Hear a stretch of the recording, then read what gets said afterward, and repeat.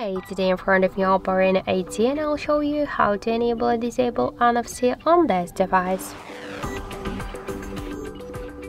First let's open the settings app and then tap to connection and sharing, then click to NFC and just to use this option we should click on the switcher.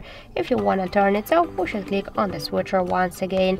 If you wanna switch default payment up, if you got another one, so just you should select one from these available applications. Also, we got one more way how we can do that. Just first you should open notification panel shortcuts and after that, somewhere here you will find NFC icon. Just to activate the NFC, click once on the icon and to turn uh, off this option, click on the icon once again. So that's it, thank you for watching and if you find this video helpful, don't forget to leave a like, comment and to subscribe our channel.